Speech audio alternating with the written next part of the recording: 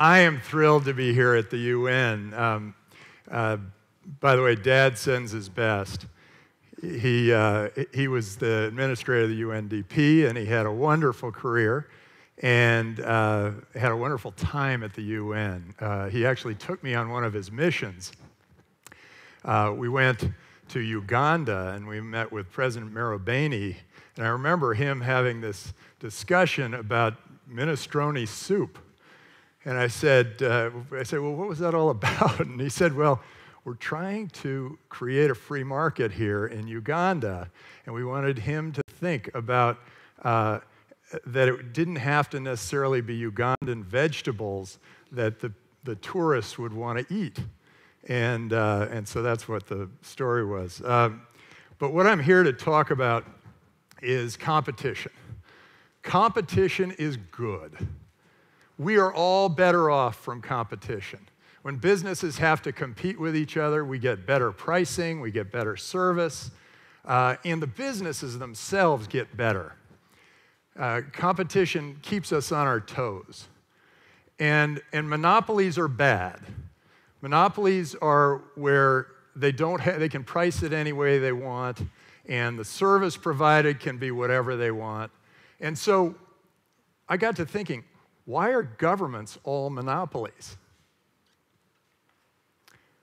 So I thought, well, what about competitive governance? Countries should compete for us. We're now pretty mobile. We can go become citizens of any country of the world. Why don't we have countries compete for us? And then I thought, boy, that's interesting because they kind of have. Um, I had a mission. My life was, is a mission. And the mission has been to spread entrepreneurship and venture capital around the world.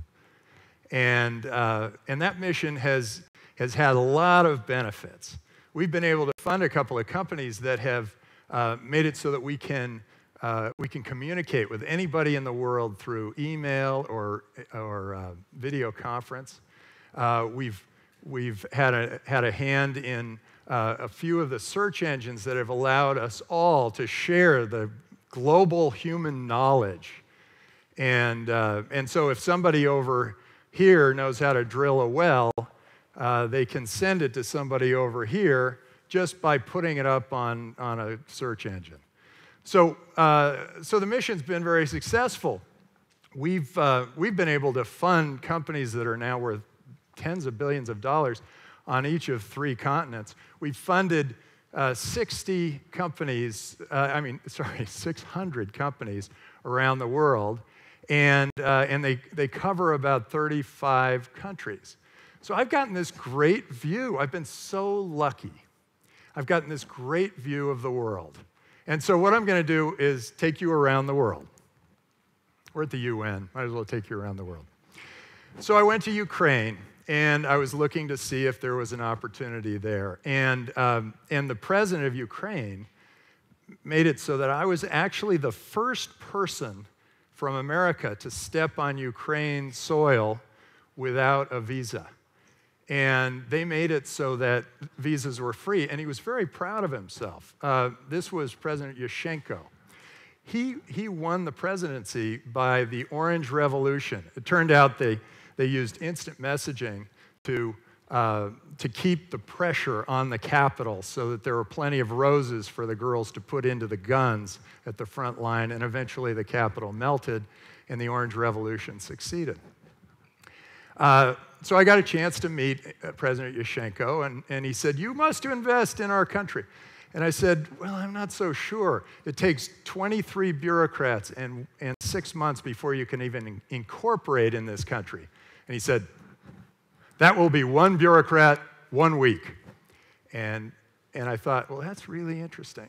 He wants to compete for us, he wants to compete for entrepreneurs. And uh, so I, I, thought that's, that's great. Now, it hasn't happened, still very bureaucratic in Ukraine, but he had at least in his mind that that was going to happen. Um, I went to Holland, I met Mark Rutte, the prime minister, and we had a great discussion. And, and he, he has some great vision because he was focused on the, on the children of his country. He said, I want to create innovators. I like your program, BizWorld. I set up a, a program to teach entrepreneurship to 10 uh, year olds. And, uh, and he said, I like your program, and I want that to happen because I know that if we educate these people well and we get them to be innovators, that we will have the best economy of the world in 30 years. So he had this great vision. I met with the Deputy Prime Minister of uh, Vietnam, and we had a wonderful discussion. He said, uh, he said, You must invest in our country. And I said, Well, why? And he said, Well, lower cost of living than China, better rules than China, and uh, the population is younger than China. And, and then he said, and we're very friendly people. And I, I looked at him and he said, but don't try to attack us again.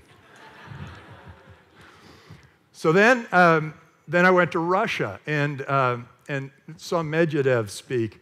And he said, markets are like parachutes. They're only good when they're open.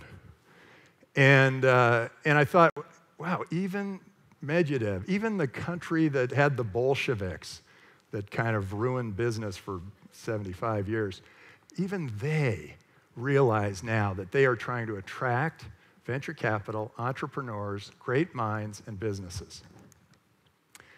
I went to Singapore and talked to Deputy Prime Minister Tony Tan, and Tony and I had a great discussion. And I said, you know, maybe there should be a stock market that we, we can all invest through globally. And then only when you repatriate to your country do you, uh, do you pay the taxes that that country requires. And, uh, and he, he looked at me, he goes, interesting. And that was at breakfast. At lunch, he had me surrounded by the head of the Singapore stock market and the head of the Singapore SEC. They are aggressively, potentially, the most business oriented country on the planet. Uh, followed closely by Korea. Uh, here I met with President Lee, and his focus was purely on business, but he, the, his successor, President Park, is focused completely on the Silicon Valley. She has decided that they are going to find out everything they possibly can about the Silicon Valley, and they're going to bring that back and they're going to make Korea a Silicon Valley. And, and so this competitive governance for the great minds in the capital is starting to happen everywhere. Now, um, fun story. Um, I was in uh, I was in Palo Alto, and I had agreed to be on a panel. I, I had agreed to speak at a conference in Palo Alto with my friend Tony Perkins, and uh, and the same day we had to have our first uh, Skype board meeting in Estonia. And I thought, oh, how can I be in two places at once? Well, now it's kind of obvious. But um, at that time, Skype was a, an audio, uh, audio phone service and reached about 3 million people. And there were about 100,000 simultaneous users. And, uh, and I said, oh, well, maybe we can do video conference, Tony. And he said, he said, Yeah, that'd be great. You know, he's a risk taker. That'd be great. Why don't you put Nicholas Zennström on the, on the thing with you and the two of you can do a Q&A. And I said, Great, that'd be terrific. And so I, I went to Nicholas and I said, Hey, can you guys get video conferencing equipment? And he said, Oh, yeah, no problem. And at that time, video conferencing was like this. Um, but but uh, Nicholas seemed very confident, and uh, and so we get in there, and he, he turns to the door, and he, I said, okay, we're ready to go. And he said, he turns to the door and he goes, okay, throw the switch. And I said, what do you mean? And he said, oh, well, we've been working on something in the back room. And, uh, and so we're kind of going to use our own system for this. I said, what? You're going to use a, some alpha test for our video conference? He said, oh, yeah, no problem. Um, and it worked perfectly. And I talked to Tony, and everything was so beautiful. Tony said, Oh, yeah, it's clear as a bell. And I said, Nicholas, how'd you do that? And he said, Well, we, we cut off 100,000 simultaneous phone calls so that we could have enough bandwidth so that we could do the video. And it seemed to work okay. Um, so entrepreneurs will do anything, they change things, they shake things up. Now, China is, uh, is another great story. My dad actually took me to China 30 years ago, but if you flash forward 15 years, I met with the uh, uh, Minister of Finance, and he said, Invest in our country. And I said, uh, Why would I invest in your country? And he said, Because we have a billion people. And I said, I said, But the last guy I talked to was a, uh, had a chocolate company and he built it up to 90 million in revenue and you guys nationalized it. And he said, hmm. And uh, actually, there was a translator, so I'm not quite sure what went back and forth there. And then I said, uh, he said, well, what would you suggest? And I said, just make it so that the early investors in China make a lot of money and then all their friends will come to China and invest. And uh, I don't know whether he was listening, but that's kind of what happened. So, what's happened in our country? Land of the free, home of the brave. Hmm. How free are we? We are the most, we have the largest population of, of uh, incarcerated people, uh, and as a percentage, the largest percentage of incarcerated people in the world. Uh, when, I, when I started my school, I realized that, uh, that I, I had to talk to many commissions, and each commission had little things to say, and I couldn't get approval to build the school until uh, one commission thought that the color was appropriate, and one commission thought that the awning should be you know, a different shape and size. And, uh, and then we had uh, the fire and safety guys saying that you had to have two points of egress. And I thought, well, okay, that's fine. I'll put in another point of egress. And then the Historical Society said, no, you can't have two points of egress because it's a historic building, apparently. And, uh, and so I thought, well, you know, how free really are we when, when the decisions about orphans, the decisions about what a doctor does with his patient, the decisions about education in our local schools are all made by an impersonal bureaucracy. And how brave are we when uh, we're, we're in a position where, uh, where we watch TV for six hours a day and, we, uh, and, and we, we're, not, we're not allowed to invest in private companies with our own money unless we're millionaires? Something's wrong.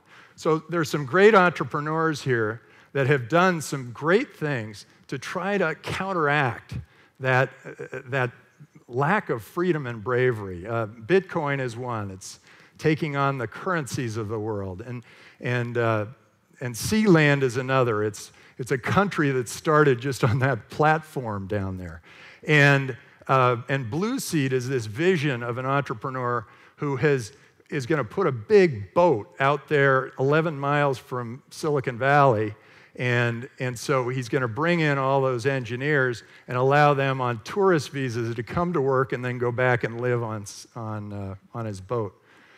Uh, and then, of course, uh, technology is, is winning all wars. It's overthrowing bad governments and it's encouraging good governance. Uh, so it's great that we have technology.